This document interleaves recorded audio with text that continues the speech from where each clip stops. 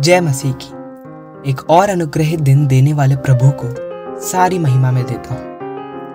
आप सभी के साथ मैं मसीह का अभिवादन बांटना चाहता हूँ। आज प्रभु वचन से जो भाग हम मनन करेंगे, वो है रोमियो की किताब, आठवां अध्याय 26 और 27वां वाक्य। इसी रीति से आत्मा भी हमारी दुर्बलता में सहायता करता है।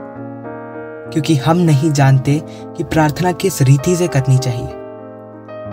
परंतु आत्मा आप ही ऐसी आहें भर भर कर, जो बयां से बाहर है, हमारे लिए विनती करता है।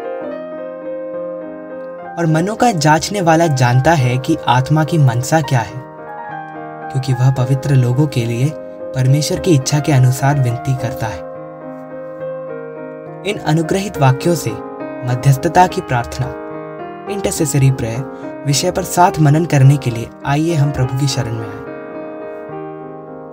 प्रियजन, हम कितना ही अधिक प्रार्थना करने वाले क्यों ना हो, लेकिन हमें निरंतर प्रभु से प्रार्थना कैसे करना है, ये सीखने की ज़रूरत है।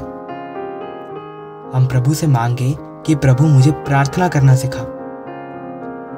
मसीह के चेलों ने भी मसीह से कहा था कि प्रभु तू हमें प्रार्थना करना सिखा।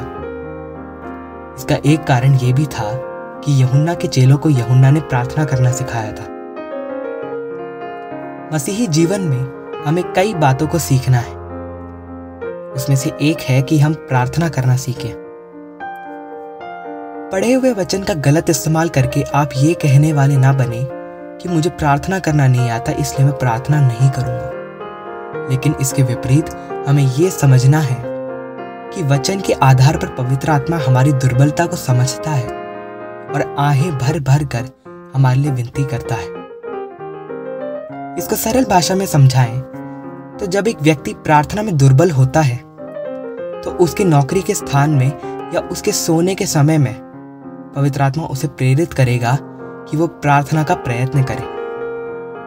और जब वो ऐसा करेगा तो पवित्र आत्मा उस निर्बलता में ही हमारी प्रार्थना को स्वीकार करेगा और हमारी विनती का उत्तर देगा।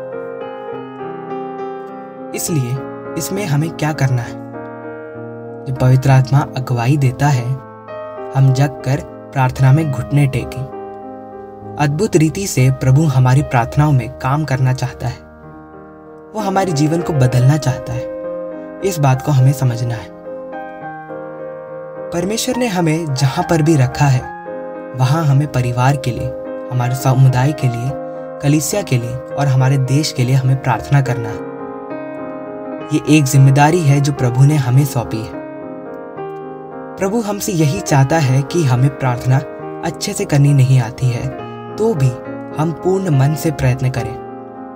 परमेश्वर हमें उत्तर देगा। लेकिन ध्यान रखें, प्रयत्न करके प्रार्थना करने की ज़िम्मेदारी आपकी है। पवित्र आत्मा आपको निरंतर उत्साहित करेगी कि आप प्रार्थना करें। आपको उसके लिए तैयार होना होगा।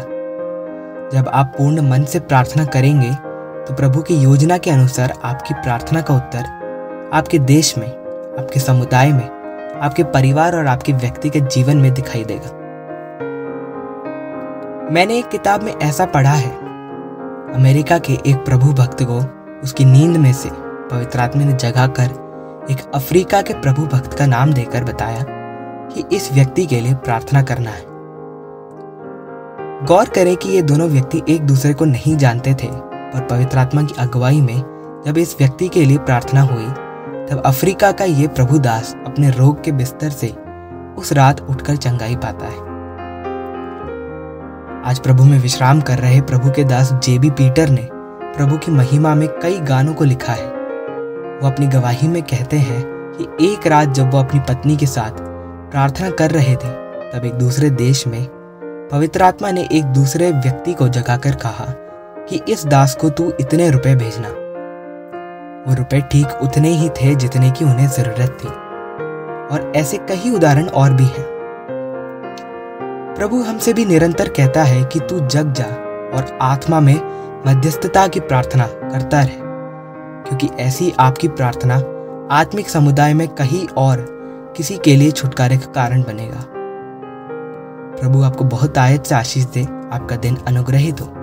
जय मसीह की।